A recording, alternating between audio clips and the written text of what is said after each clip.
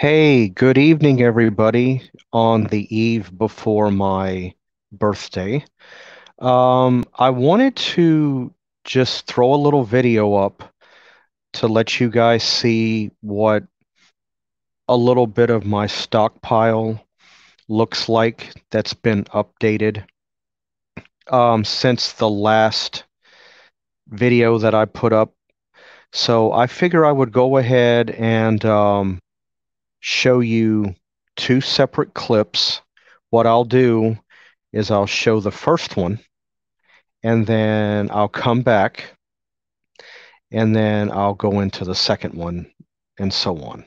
So this is what my first updated pick or pictures of what my up-to-date stockpile looks like. Here's the first one.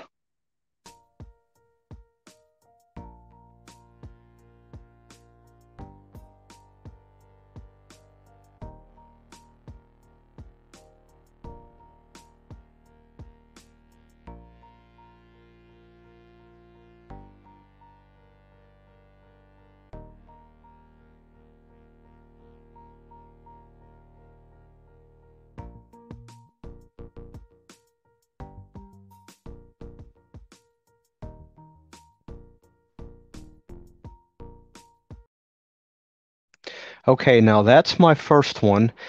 You saw everything from jarred spaghetti sauce all the way to the far left, albacore tuna, low sodium spinach. Not a big fan of canned spinach for some reason. I'm just I'm just not. Of course, you saw the tomatoes in which I used to make spaghetti sauce, diced tomatoes, um, some chicken breast.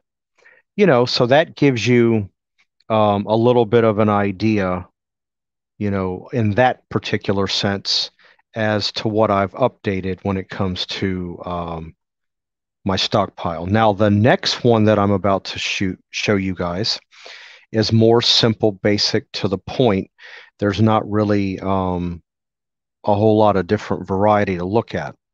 Um, so I'm going to go ahead and show you that one, and I'll be right back.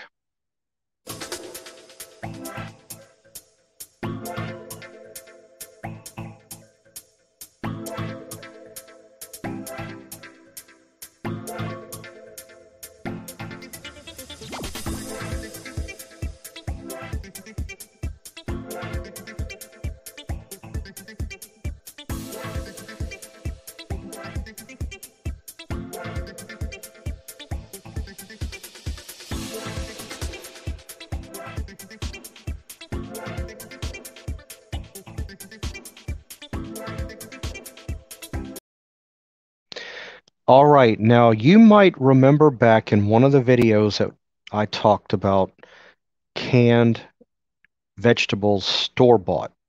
Okay, everything that you see there is great value brand um, vegetables, everything from green beans, green peas, cream style corn, to give you a little bit of an idea. And each one of those cans costs 58 cents per can. I will tell you this do not be shy to trying a store brand canned good, like in the case of the vegetables. Um, I find them to taste every bit as good as a Del Monte or even a Libby's brand.